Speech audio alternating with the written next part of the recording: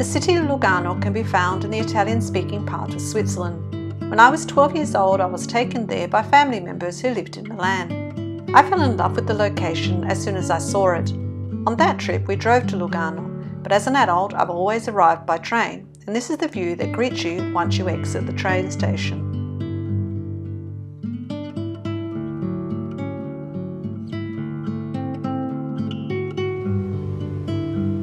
Bell tower that you can see close to the station belongs to the Cathedral of San Lorenzo. It's a 16th century church, but there's been a church on this site since the 1st century.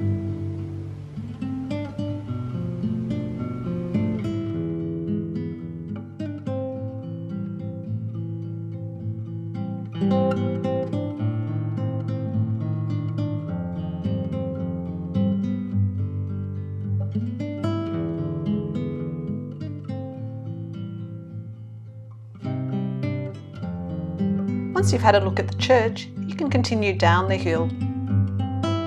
I hope that scooter guy's got good brakes.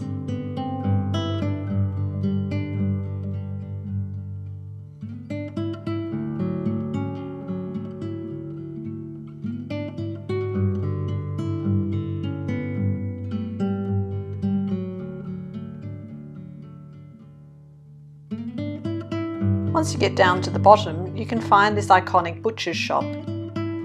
There are laneways weaving around the lakeside, and this one is where you can find all your high end stores.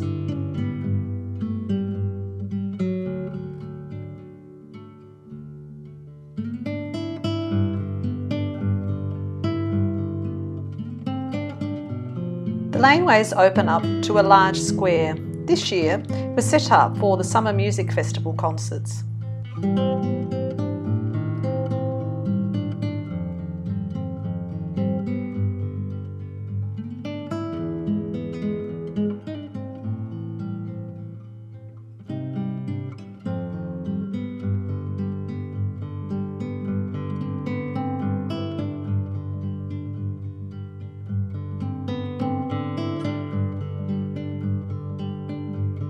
It's a little tourist train that takes you for a trip by the lakeshore.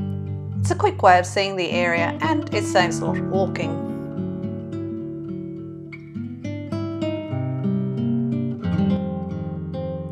My favourite part of the city is Ciani Park.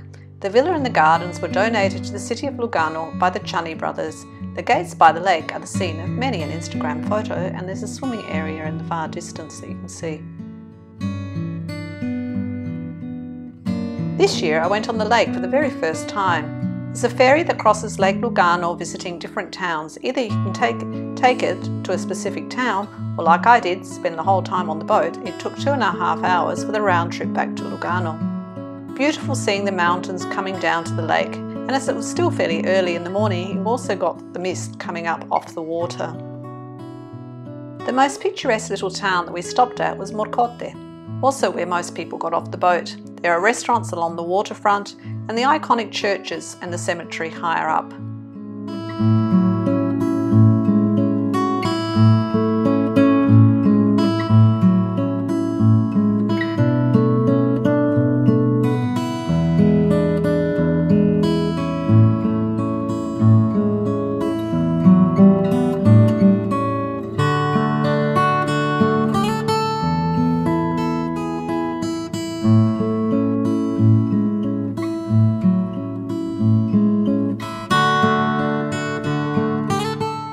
Back into Lugano, you can see the little church of Santa Maria dei Angeli.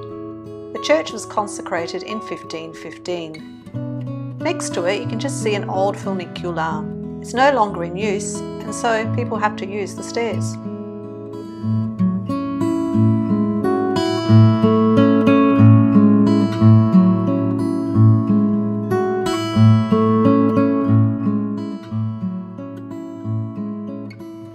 For many years, I would tramp up the hill to the train station. Now I happily pay my fare and ride the funicular. I managed to get right up the front, so I could clearly see the cables and the pulleys that operate the funicular.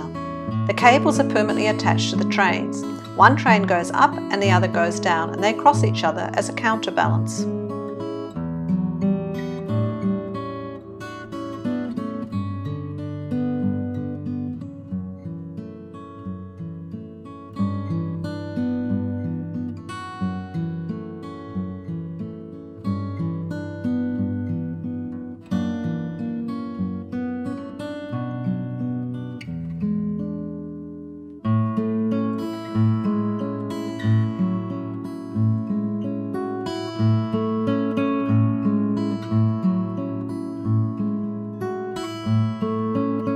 The old train station building was restored a few years back and there's a newer section also attached. If you like my videos, please consider liking and subscribing so you can continue travelling this big wide world through my videos.